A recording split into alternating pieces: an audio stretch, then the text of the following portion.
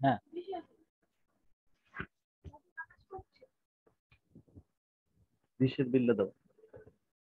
Hello হ্যাঁ। তাহলে আমরা দেখতেছি যে এখানে মোটামুটি গত ক্লাসে জিএসএম নিয়ে আমরা আলোচনা শুরু করছিলাম এবং জিএসএম সম্পর্কে আমরা কিছু পড়াশোনা করছি। তার মধ্যে আমরা মাল্টিপ্লেক্সিং সম্পর্কে পড়াশোনা করছি। এফডিএমএ টিডিএমএ সিডিএমএ এবং এসডিএমএ নিয়ে আমরা পড়ছি। আজকে আমরা দেখব এই জিএসএম সিস্টেমের আরও কিছু ফিচার এর মধ্যে একটা হলো স্পেস কোডিং স্পেস কোডিং জিনিসটা কি? এখন স্পেস কোডিং জিনিসটা হলো যে জিএসএম সিস্টেমে আমরা আমরা যে কথাগুলো বলি, অর্থাৎ যে ভয়েস মেসেজগুলো বা ভয়েস কলে আমরা যে কথাগুলো মেসেজগুলো আমরা সেন্ড করি, এগুলো বেশ কিছু সেগমেন্টে ভাগ হয়ে, ভাগ করে ভাগ করে আমরা সেট করি। It is not possible to transmit speech itself or digitized version of speech because because this requires a high bit rate. এখন ঘটনা হলো আমরা যে কথাগুলো বলি আমাদের কথার মধ্যে কিন্তু অনেক ধরনের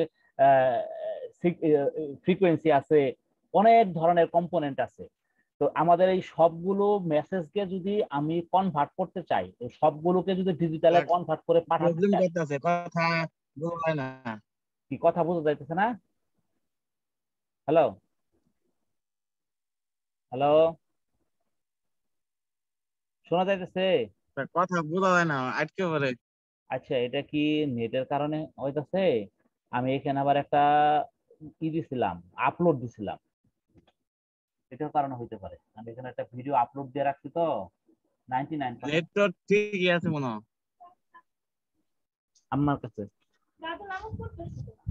এই জন্য সমস্যা হচ্ছে sir.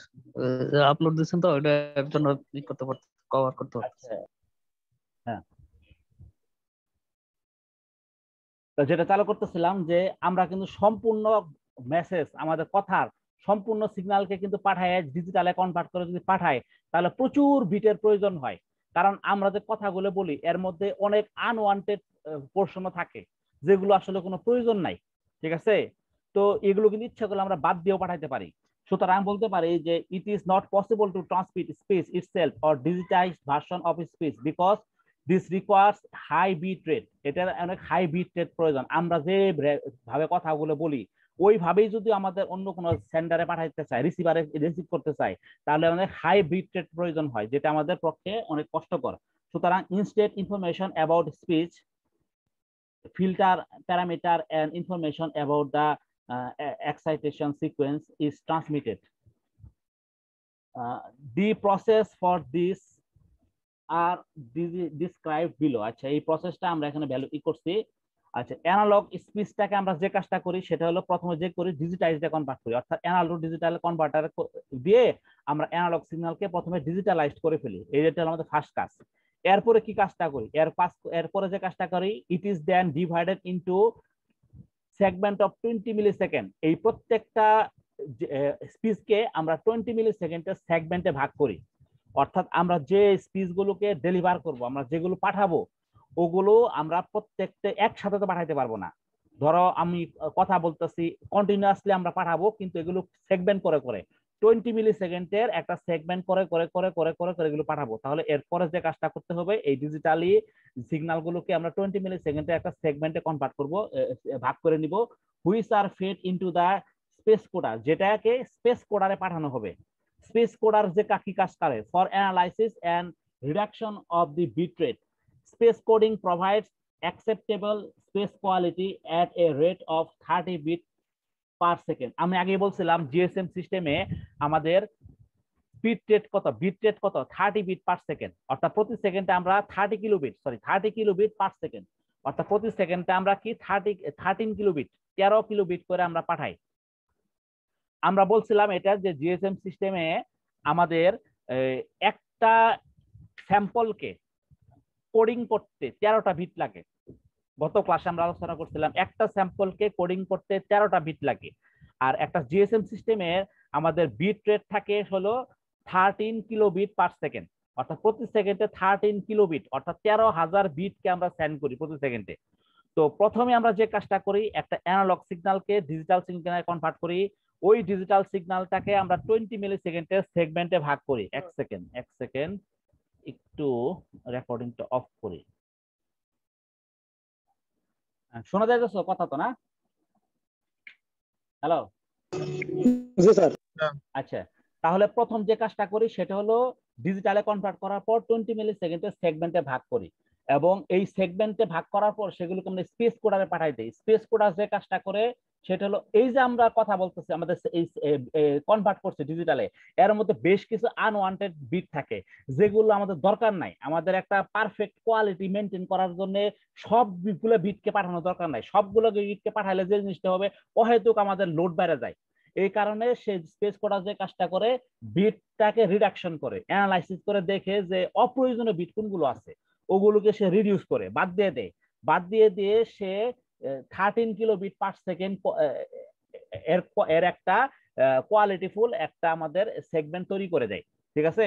The result of this analysis are coded in digital form এই সম্পূর্ণ রেজাল্টকে সে ডিজিটালে কনভার্ট করে তারপর সেটাকে সেন্ড করার জন্য সে প্রিপেয়ার করে ঠিক আছে?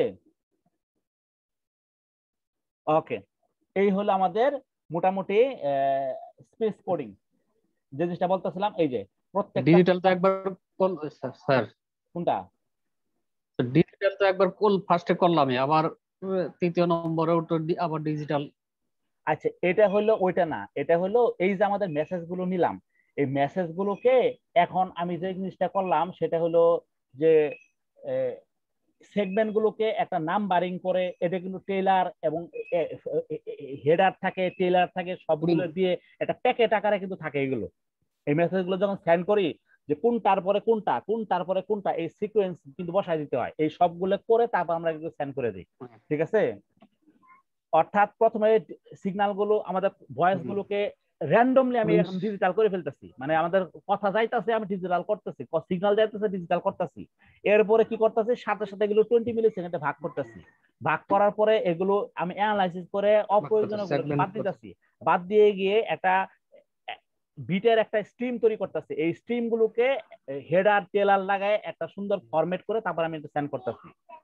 Space can be separated into voice and unvoice sound space কিন্তু দুই ধরনের হতে পারে। একটা হলো ভয়েস সাউন্ড একটা আনভয়েস সাউন্ড অর্থাৎ আমাদের ভোকাল কর্ড থেকে যে সাউন্ড নিশ্চিত হয় ভোকাল কর্ড থেকে যে সাউন্ড বের হয়, সেটা হলো ভয়েস সাউন্ড এবং এছাড়া অন্যান্য যে সাউন্ডগুলো আসে, সেগুলো হলো আন ভয়েস সাউন্ড ওগুলোকে সাধারণত নয়েস হিসেবে ট্রিট করা হয়। voice speed sound vowels.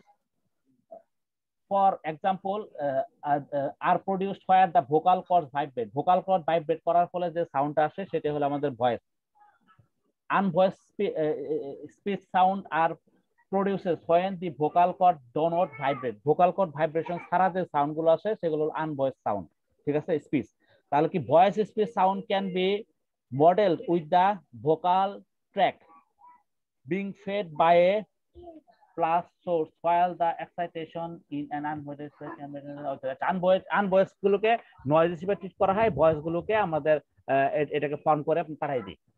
তো এই হলো মোটামুটি স্পেস কোডার স্পেস কোডার যে কাজ- কাজটা করে সেটা ইন ব্রিফ আমরা যদি বলি, প্রথমে ডিজিটালাইজ করে তারপরে এই বিট গুলোকে অ্যানালাইসিস করে আনওয়ান্টেড বিট গুলোকে পাঠাই দিয়ে একটা ডিজায়ার বিট রেটকে সে বজায় রাখে। এই বিট রেটটা হলো থার্টিন কিলোবিট পার সেকেন্ড তারপরে এগুলোকে সে কি করে? একটা ফর্মের মধ্যে নিয়ে আসে।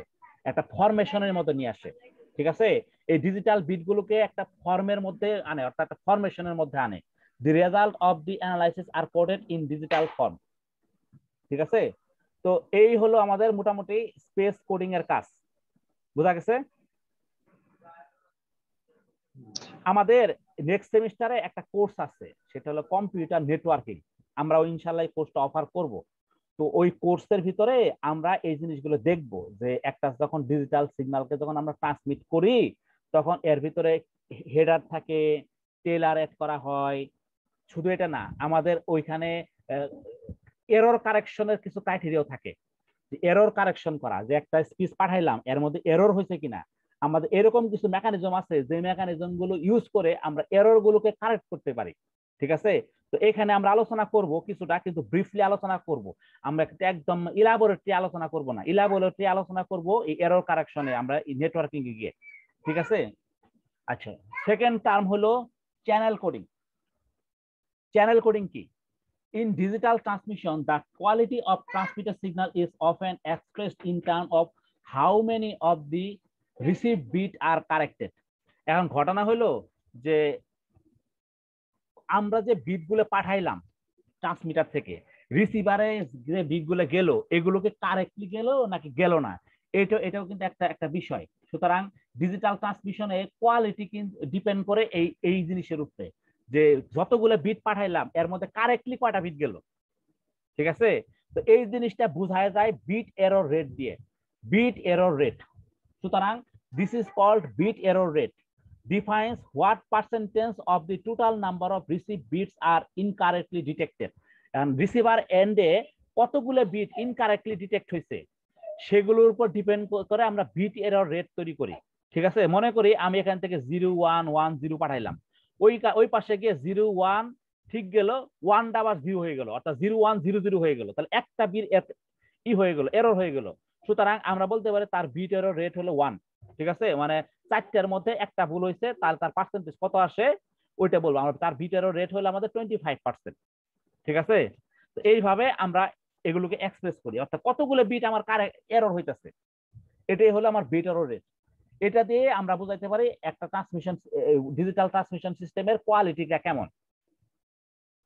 ওকে এখন because the transmission path is constantly changing a transmission path changing constantly this means that there are must be an allowance for a certain amount of error আচ্ছা যাই হোক bit error acceptable for speed আচ্ছা এই bit error rate কে define করার জন্য GSM system দুইটা technique use করে একটা হলো ব্লক কোর্স এবং আরেকটা হলো কনভলিউশন কোর্স ঠিক আছে তাহলে আমরা কি দেখতেছি channel coding requires that the information be spread out over a large number of bits, causing some bit redundancy. More bits are required, but the result is higher uh, security against error. The coding is yes, acha. the block coding a number of check bits are added to the information. Bits in the block code are dependent on the information.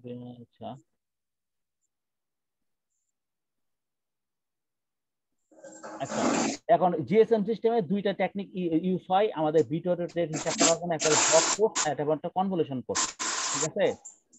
এখন block কোডের যে জিনিসটা করা হয়, সেটা হলো যে এই ইনফরমেশনের সাথে সাথে একটা কোডিং দিয়ে দেওয়া হয়, ঠিক আছে? একটা কোডিং দিয়ে দেওয়া হয়। ওই কোডিং এর উপর ডিপেন্ড করে সে ডিফাইন করে যে এখানে এরর হয়েছে নাকি হয় নাই। আচ্ছা এটাই in block coding a number of check bit are added একটা কিছু পরিমাণ number of check bit add করে দেওয়া হয় to the information bit the check bit in the block codes are dependent on the information bit in the message এবং এই check বিটগুলো আমাদের এই ইনফরমেশন বিট গুলোকে অ্যানালাইসিস করে সে বলে দিতে পারে যেখানে এরর হয়েছে কি হয় না এই টেকনিকগুলো আমরা দেখব। এগুলো অনেকগুলো প্রসেস আছে। এই এইভাবে এইভাবে চেক কোড অ্যাড করে দেওয়ার অনেক প্রসেস আছে এরর ডিটেক্ট করা ডিজিটাল সিস্টেমে এটা আমাদের বিশেষ করে ফরজানের বই যদি আমরা দেখি ফরজানের বইয়ের ভিতরে আছে। ফরজানের বই মনে হয় ওয়াহিদ স্যার পড়াইছিল তাই না? ফরজানের বইয়ের বইয়ের ভিতরে আমরা দেখব হ্যাঁ হ্যাঁ। ওয়াহিদ স্যার মনে এর আগের একটা কমিউনিকেশনের কোর্স এটা পড়াইছিল ডিজিটাল কমিউনিকেশন পড়াইতে। ওখানে আছে এই অনেক এই টেকনিকগুলো আছে। তো এটা আমরা নেটওয়ার্কিং এ গিয়ে দেখি এই টেকনিকগুলো, ঠিক আছে? এটা হলো ব্লক কোড আর এটা হলো কনভলিউশন কোড কনভলিউশন কোডও আমাদের এই নেটওয়ার্কিং এ আছে, আমরা ডিটেলস এখানে পড়ি। এখানে এত ডিটেলস দেওয়া নাই জাস্ট দুইটা সম্পর্কে একটু ধারণা দেওয়া আছে। ওকে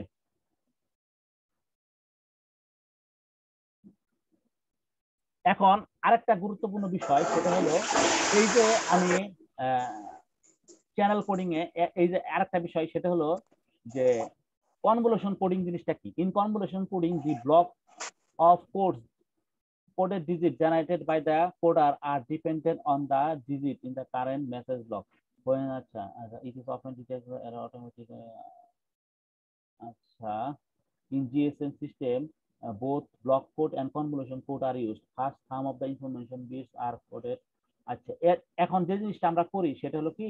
জিএসএম সিস্টেমে আমাদের ইনফরমেশন গুলোকে কয়েকটা ভাগে ভাগ করি।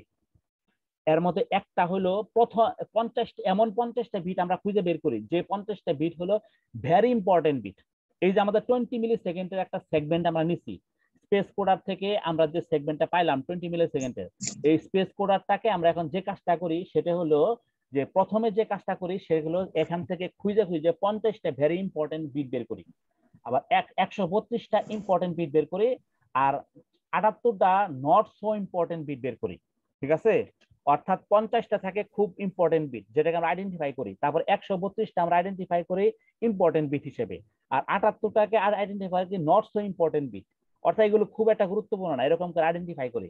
তারপর আমরা যে কাজটা করি, সেটা হলো, এখন ঘটনা হলো কি? যে এই পঞ্চাশটা ভেরি যে ইম্পর্টেন্ট বিট আছে, এই পঞ্চাশটা ভেরি ইম্পর্টেন্ট বিটের সাথে আমি ব্লক কোডার অ্যাড করে দিই। অর্থাৎ এমন এক কিছু তিনটা প্যারিটি বিট এই ব্লক কোডার হলো তিনটা প্যারিটি বিট অ্যাড করে দেয়। এই প্যারিটি বিটগুলো ডিফাইন করে যে আমাদের এই পঞ্চাশটা বিটের মধ্যে কোনো এরর হয়েছে কিনা। ঠিক আছে? এই পঞ্চাশটা সাথে তিনটা প্যারিটি বিট তিপ্পান্নটা। এই তিপ্পান্নটা অ্যাড করে দিই এরপরে একশো বত্রিশটা ইম্পর্টেন্ট বিটের সাথে চারটা ট্রেইল বিট অর্থাৎ এই বোর্ডের বিটের শেষে চারটে শেষে একটা চারটে ট্রেইল বিট অর্থাৎ বাড়তি কিছু এক্সট্রা বিট অ্যাড করে, মোট একশো ছত্রিশটা বিট অ্যাড করে এই দুইটাকে কনভলিউশন কোডারে পাঠাই দিই, ঠিক আছে? কনভলিউশন কোডার কি করে? এখান দুইটাকে কনভলিউশন করে আমাদের মোট বিট হয় তিনশো আটাত্তরটা।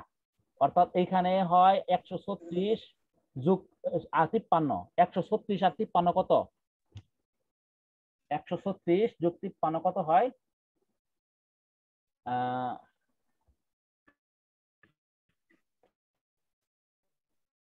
ওয়ান থার্টি সিক্স যোগ ফিফটি থ্রি তিপ্পান্ন একশো উনআশি। একশো উননব্বই হ্যাঁ একশো উননব্বই একশো একশো উননব্বই একশো উননব্বই হয়। এই একশো উননব্বইটা বিট হলে আমাদের এই দুইটা থেকে আসে। তারপরে বাড়তি যতগুলো বিট আছে একশো উননব্বই মাইনাস কত? তিনশো সাতা আটাত্তর। বাকি একশো উননব্বইটা বিট ঠিক আছে? এই বাকি একশো উননব্বইটা বিট আসে হলো কনভলিউশন পড়ার থেকে। ঠিক আছে? কনভলিউশন পড়ার এর সাথে আর বাকি একশো উনআশি বিটটা অ্যাড করে দেয়। তাহলে মোট হয় তিনশো আটাত্তর বিট এই তিনশো আটাত্তর বিটের সাথে আরও আটাত্তর বিট যোগ হয়। তাহলে তিনশো সাথে আটাত্তর বিটের সাথে ওই যে নট সো ইম্পর্টেন্ট বিট যেগুলো আমরা বলছিলাম, ওই আটাত্তর বিট যোগ হয়ে চারশো ছাপ্পান্ন বিট হয়। এই চারশো ছাপ্পান্ন বিট আমরা পাঠাই দিই, ঠিক আছে? অর্থাৎ জিএসএম সিস্টেমে আমরা প্রতি বিশ মিলি সেকেন্ডের ভয়েস সিগন্যালের জন্য, ধরো আমরা বিশ মিলি সেকেন্ড কথা বলতেছি, এই বিশ মিলি সেকেন্ড কথা বলার জন্য আমাদের চারশো ছাপ্পান্নটা বিট পাঠাইতে হয়। ঠিক আছে? যার মধ্যে পঞ্চাশটা হলো ভেরি ইম্পর্টেন্ট বিট আর একশো বত্রিশটা হলো ইম্পর্টেন্ট বিট আর বাদ বাকি যতগুলো বিট আছে, এই একশো পঞ্চাশটার সাথে তিনটা আবার প্যারিটি বিট যেটা আমাদের ব্লক কোডার অর্থাৎ এই পঞ্চাশটাকে সবচেয়ে গুরুত্ব দিতেছে আমরা। এই পঞ্চাশটার মধ্যে কোনো এরর হলে যেন কারেক্ট করতে পারে। এই জন্য তিনটা প্যারিটি বিট ঢুকাই দিতেছি। তারপর একশো বিটতে বত্রিশটা ইম্পর্টেন্ট বিটের সাথে আবার চারটা আবার ট্রেইল বিট ঢুকাই দিতেছি। দিয়ে একশো ছত্রিশটা বানাইতেছি। সবগুলোকে আবার কনভলিউশন কোডিং এর মধ্যে ঢুকাই দিতেছি। দিয়ে আরও একশো উনআশিটা বিট বাড়াই দিতেছি। কেন বাড়াইতেছি? এই ইনফরমেশনগুলোর মধ্যে কোনো এরর হইলে যেন সে ডিটেক্ট করতে পারে এবং ডিটেক্ট করে কারেক্ট করে দিতে পারে। ঠিক আছে? শুধু ডিটেকশন না কনভলিউশন কোডার ডিটেক্ট করে কারেক্ট করে দেয়। ঠিক আছে? অর্থাৎ কারেকশনও যেন করে দেয় এই কারণে আমরা বাড়তি আরও বিট অ্যাড করে এই টোটাল তিনশো আটাত্তর বিটের সাথে এই বাকি যে আটাত্তর bit not so important bit এই যে বাকি যে আটাত্তর বিট আছে, এর সাথে আমরা কোনো কারেকশন মেকানিজম অ্যাড করি না। কারণ এগুলো হারাই গেলে আমার প্রবলেম না, এগুলো ইম্পর্টেন্ট না। অ্যাড করে দিয়ে মোট আমি এই চারশো ছাপ্পান্নটা বিট আমি পাঠাইতেছি, যার মধ্যে তিনশো আটাত্তরটা বিট হলো হাইলি প্রোটেক্টেড যেখানে কোনো এরর হলে সে কারেকশন করতে পারবে। বুঝা গেছে?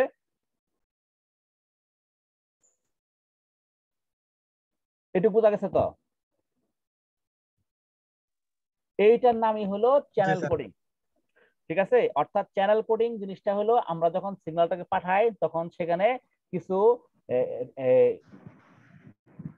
এই block coder convolution coder add করে দেই যেন যে মেসেজগুলো পাঠাচ্ছি যে বিটগুলো পাঠাচ্ছি সেগুলো যেন কারেক্টলি পৌঁছে এবং যদি ভুলও হয় কোনো যদি এররও হয় সেগুলো যেন সে রিকারেক্ট করতে পারে। ঠিক আছে? তো এই বিষয়গুলো অ্যাড করে দেই, আমরা, পরে আমরা পাঠাই দিই। এই কনভলিউশন কোডার এগুলো আমরা প্যারিটি বিট এগুলো আমরা নেটওয়ার্কিং এ পড়ব। তোমরা ফোরোজানের বইয়ে দশম অধ্যায় খুললে দেখতে পাবো, আছে। তো আমরা ওই নেটওয়ার্কিং এ আমরা এই জিনিসগুলো পড়ি। ঠিক আছে? ওকে এই হলো মোটামুটি চ্যানেল কোডিং ঠিক আছে? আচ্ছা। আজকে তাহলে এই পর্যন্তই থাক। ঠিক আছে? আর ইন্টার লিভিং আছে তো? ইন্টার লিভিং আর ফ্রিকোয়েন্সি হপিং হইলে আমাদের সিলেবাস শেষ। আর এক পেজ আছে।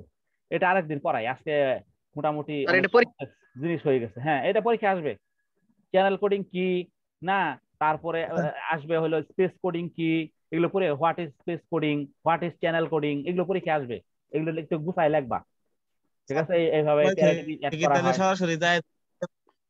একটা নোট করে ফেলবা। নোট করো। আমি ইনশাল্লাহ শনিবারের মধ্যে আমি কোশ্চেনগুলা সাবমিট করে দিব। ঠিক আছে? তোমরা নোট করে ফেলে।